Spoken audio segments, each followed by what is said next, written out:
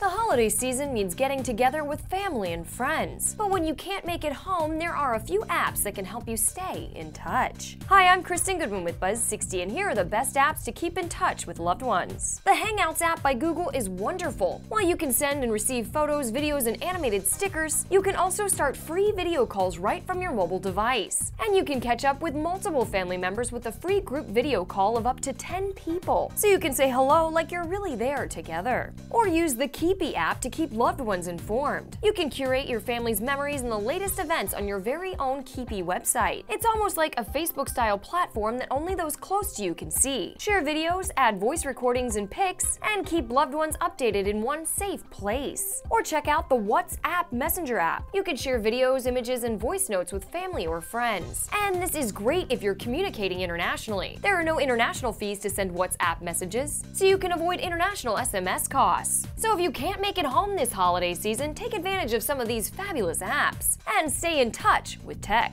Buzz60, now you know, pass it on.